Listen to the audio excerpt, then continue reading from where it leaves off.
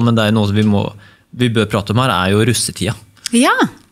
Det er jo også um, Jeg har mine tanker om på en måte min egen russetid, og alt liksom, på en måte, men jo eldre jeg blir, jo mer liksom, tenker jeg sånn altså, hva er det, er det? Og det er jo kanskje liksom hele faren med liksom, russetida også. at det er jo, De unge ser ut til å elske det år etter år. Det er jo en ny generasjon som blir russ hvert eneste år, som blir utnytta på den samme måten av de kommersielle aktørene.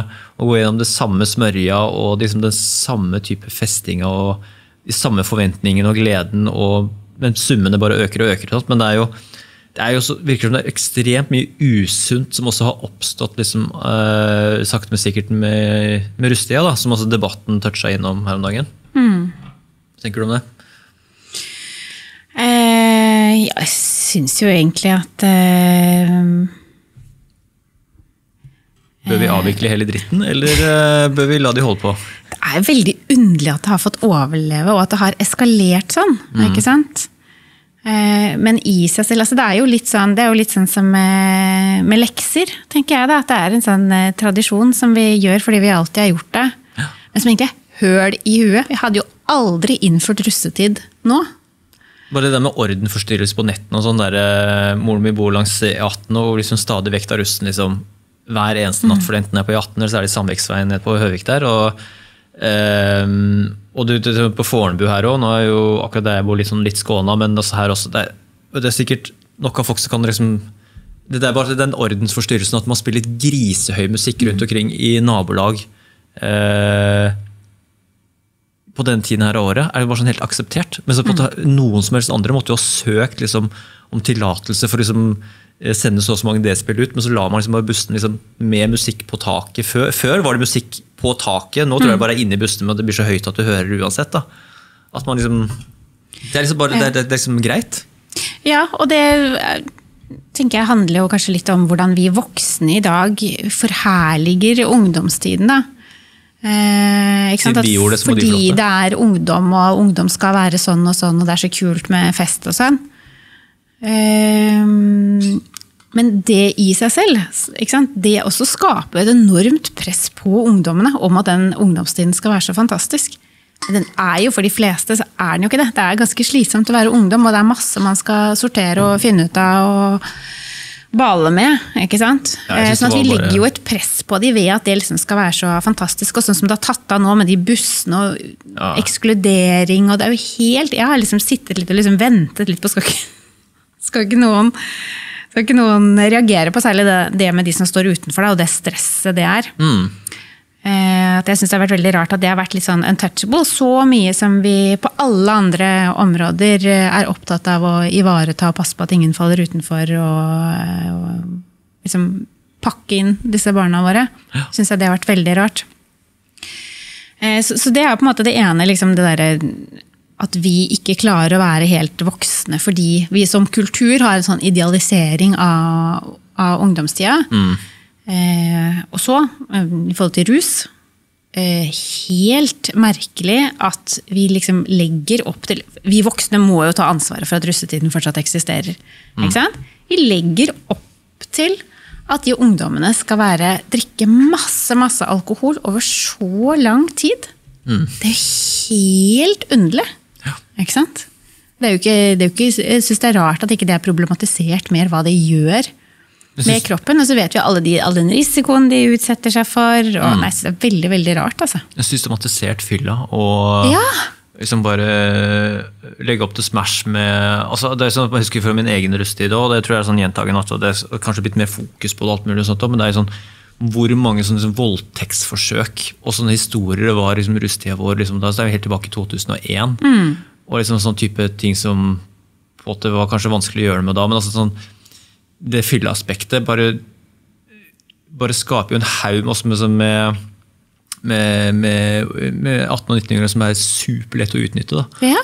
Altså, ikke bare for liksom, russen selv, men også på en måte hele apparatet rundt. Da, med liksom, kommersielle kreftene og arrangører og voksne folk. Og det er jo en svær industri. Sinnssykt mye penger i det. Sinnssykt mye penger i det. Det er helt merkelig at ikke det er, eh, er mer regulert. Og, og det er jo nærliggende å tenke at det, det orker ikke vi voksne å stå i. Å være kjipe og avlyse russetida. Og, eh, å stå i det trøkket fra ungdommene da, det klarer vi ikke. Ingen som vil være russens Dagfinn Høybråten. er Ingen som vil ta den rollen der. Det er en veldig god sammenligning. Ikke sant? Ja. Det er en veldig god sammenligning. Hvem, skal, Mm. hvem kunne vært eh, russens Dagfinn Høybråten, da? Hvem kunne det vært? Må det være en fra KrF, eller kan det vært eh, Hmm. Mimmer? Bare gir den til Mimmer. Det, er jo sånn Fins det et alternativ? da? Så kunne man eh, nedskalert, eller kunne man eh, satt det til en annen tid? Det hjelper kanskje ikke så mye, eller hva, hva Nei, jeg tenker jo, ikke sant? Det er jo et enda større problem når man flytter det til etter eksamen, og det ikke er noe som begrenser det. da. Men, eh, men altså, tidsaspektet er jo eh, et poeng her. Ja. Eh, At det er liksom greit med en fest, liksom, for å markere det. Men det trenger jo, altså hele konseptet med russetid jeg tenker jo at det har, det har eskalert sånn at det på en måte har drept seg selv. Altså det er litt sånn eh, som man kanskje tenkte om alkoholikere før. da, at Hvis du liksom blir skikkelig alkoholiker, så har du på en måte ødelagt eh, forholdet ditt til alkohol. Nå er jo den tenkningen ikke så moderne lenger. da, Man tenker litt annerledes om det nå. Eh, men sånn har man jo lenge tenkt. Ikke sant? At hvis du blir skikkelig alkoholiker, kan du ikke drikke lenger. Sånn tenker jeg det har blitt litt med russetida. Den, den russetida den har eskalert så mye at den er ødelagt. At Den har tippa over. Det, det har vi ikke Vi har ikke klart å håndtere balansegangen i det. Det er blitt helt grenseløst. Så kanskje ikke det går. Ja, det er akkurat det. Det blir fullstendig grenseløst. Altså, jeg, jeg må helt ærlig innrømme at jeg husker ikke hvordan liksom, det, den, den opprinnelige tradisjonelle russefeiringa var, men altså bare se utviklingen fra 90-tallet, eh, hvor da liksom de gjerne samla seg på lokale områder med biler, og noen hadde vel også busser på her rundt, men det var jo veldig uvanlig rundt omkring i Norge å ha liksom det aspektet, men da var det mye mer slags sånn eh, beskjedne provisoriske samlinger, eh, hvor liksom måte alt var liksom do it yourself-stil. Nå er det liksom på en måte big business og eh, busser med audition, og det er låter, og det er kommersielt, og det er liksom det fylleaspektet, og det er sånn ekstremt sånt ehm, ja, på en måte sånn eh, høy inngang med tanke på økonomi. eh, Men det er jo sånn Jeg savner Men- jo russen i gatebildet. ikke sant? Men- Før så så man de, og de hadde russekort, og de var liksom litt sånn gøy, og de gikk jo i det ordentlige 17. mai-toget. Ja, ja, og det var liksom for sånn. russekort når du var barn. Det var Ja. jo helt jævlig stas, liksom, fordi de var, liksom, var med på 17. mai. Men nå er de jo så dritings og bare er på sine egne arrangementer. Man ser de jo nesten ikke. Kanskje du er heldig hvis du finner de på en bensinstasjon hvor de er inne og tisser, liksom. Men liksom, spørsmålet er hvor mye kan man regulere liksom, at 18- og 19-åringer finner seg et festkonsept? da? Altså Én ting er på en måte å forby måte busser med høy musikk. Det er, sånn det, det er det første man kan gjøre. Altså, måte, men liksom at, eh, at de velger å bruke Hvis, hvis man har gjort det etter eh, endte eksamener, da, at man ikke kunne liksom, at det ikke er innafor å gjøre det i skoletiden. Altså, du har jo, Russia begynner jo sånn i april, og sånt, hvor de kjører rundt og, liksom, og herjer på.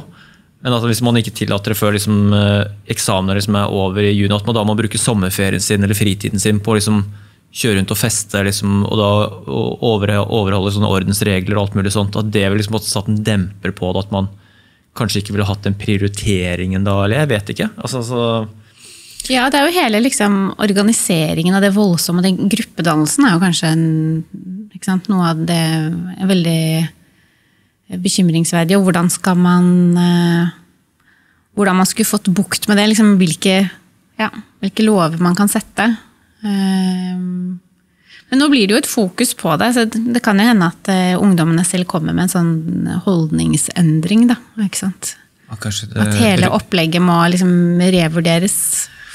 Kanskje russens Greta Thunberg Det er kanskje det, det vi må håpe på her? Vi venter på russens Greta Thunberg. Mm. Ja, Men, sant? Det, en av de tingene kunne jo være så Det er kanskje lettere hvis det kommer fra russen selv. Da, en sånn Vi avskaffer hele bussopplegget, liksom. For det er jo blitt bare en stor konkurranse. Og veldig, veldig ja, kommersialisert. Da. Mm. Altså, ja, hvor mye kan man legge seg opp i det når de også er myndige? på en måte? Det er, sånn, det er jo et annet aspekt. Det er sånn der, jeg tenker, nå er det jo mange av disse pådriverrussene er jo også gjerne som kommer fra ressurssterke familier og som på en måte har ressurser. og så kan man se bort fra at liksom plutselig er noen advokater som er inne i gamet her og skal bli sånn Dette har 18-19-åringer lov til å gjøre uten at verken skolen eller myndigheter eller foreldre kan gripe inn. da. Det er jo litt Ja. interessant, det òg. Men det er det også, ikke sant? Jeg tenker jo at eh, det er ganske mange ting vi voksne kan gjøre for å ikke legge til rette for det. Man kan jo rigge eksamensordningene og vurderingene på en måte som ikke i det hele tatt tar hensyn til russefeiringene. Mm. Og så de må flytte ut hjemmefra. Kaste det ut. Jo, men liksom. Skolen kan jo gjøre noe med hvordan man organiserer At man ikke legger til rette for at det skal være liksom rom for den feiringa. Eh, og så vet jeg, ikke sant? Og vi voksne eh, jeg vet jo også at liksom, Noen steder så har jo liksom, foreldrene gått sammen og arrangert frokost natt etter 1. mai, eller eh, 18, altså sånn, etter noen av disse store festene, så har liksom foreldrene steppet inn og lagd ikke sant. Det er ganske mange sånne ting. Uten å liksom forby russetida, så kan vi jo på en måte, vi voksne kan jo bli enige om at vi, at vi anbefaler eh, at eh, at det avskaffes, på en måte. Uten at vi kan bestemme det. Men vi kan jo anbefale det. Eh, og så er jo spørsmålet hva vi kan gjøre med de liksom, eh, eh, kommersielle aktørene. Eh, men jeg tror jo også at hvis altså hvis, vi, hvis vi voksne da, hadde liksom tørt å sette ned foten, så hadde vi funnet ut hvordan vi skulle gjøre det. Ikke sant? Da da vi hadde funnet en måte å gjøre det på. Men det der å liksom jeg, jeg tror det er en sånn høy terskel i oss for det å ta fra ungdommene, og sånn som man har snakket om det nå. Etter den, denne forferdelige pandemien så må, jo, må de jo få lov å feste. Altså, det er jo helt... Hun Therese Sollien hadde jo en glimrende kommentar i Aftenposten om, om det. At liksom, nå har vi snakket om å komme tilbake til normalen i to år. Og så Da er det ikke snakk om å liksom gjennomføre eksamen og og liksom sørge for at ungdommene liksom får lært det de har gått glipp av. Men vi liksom, da skal de få lov å liksom bare feire med å feste ekstra mye, liksom. Altså, det er jo helt, det er jo helt merkelig. Ja. Ja. Altså, men det, det, problemet her er vel også altså, hva, Jeg ganske sikker det starter vel allerede første året på videregående, og så begynner man å planlegge og konspirere, holdt jeg på å si, og sette sammen eh, konstellasjoner og osv. Men det er sånn, litt av problemet med russetida, og, og der det kanskje hviler tyngst, er jo at det, det, det her skjer vel også skal vi si, ikke i skolens regi, men i skolens revir, på en måte. Altså i, i skole Man liksom møter i skoletid, og det er veldig mye som er så forbundet med liksom den skolen man går på. Hvis man man bare låser hele russetida hvis det er snakk om å gjøre det fra april til juni. Så er det bare sånn å si at det, det her må foregå i privat regi. At det skal liksom ikke skje i form av liksom at skol, skolen har ingenting med det her å gjøre. De tilrettelegger ingenting. Du får liksom Uh, du skal ikke ha med russ, russeklær på skolen, f.eks. Det er sånn der, gå rundt Ja, med det. det er er der, mange det er jo- sånne ting man kunne gjort. men kan man, kan man da også kan man liksom nekte folk å gå med de klærne de vil, f.eks.? Uh, mm. det, det, det er mange gråsoner og veier å tråkke opp der, men det er utvilsomt at det er liksom Det har utviklet seg til å bli noe sånn ganske voldsomt og usmakelig. Men uh, nå er vi to gamle personer òg, da. Så Ja, det sånn, hvis du det. spør russen selv, så er det jo sikkert de det er veldig blanda. At det er så mange som gleder seg. Liksom, at dette her er det sånn store høydepunktet som de har gått og gleda seg til i to-tre år. Og så mange som kanskje gruer seg, og noen som på en måte er helt indifferente til det og ikke bryr seg. Og så er det mange imellom. Ja, og så er det ikke sant, det er jo det er ikke så mm, mye som skal til. Det er ikke så mange som skal bryte ut og si at det gidder jeg ikke å være med på. Før det kan bli en sånn ganske stor trend. Ikke sant? Det er ikke så mye som skal til. Sånn vet vi jo med grupper. At det er kjipt å være den ene som er utafor. Eller som går imot strømmen. Men hvis man er en liten gjeng, så kan den fort bli større. Så det er jo også en løsning på det her. At, at noen begynner å si at uh, Også fordi det er så kommersielt, og fordi mange unge er jo opptatt av klima. og sånn, og Det å bruke masse masse penger og kjøpe masse ting og kjøre rundt i bensindrevne busser, eller hva det nå går på. Kjøre med miljøargument inn der, ja, likte jeg. det, det tror jeg, den tror jeg blir lengre Eller kanskje Det litt, det hadde vært litt sprøtt hvis miljøaspektet faktisk hadde sparka bein under russetida. Det, Ja, men Det sant, det er jo en sånn veldig ideologisk eh, Nei, idealistisk eh, generasjon. Ja, Så kanskje de bare sant, tar til fornuft og dropper det Kjører selv, flere og flere. Solcelleruss. Ja, solcellerhus.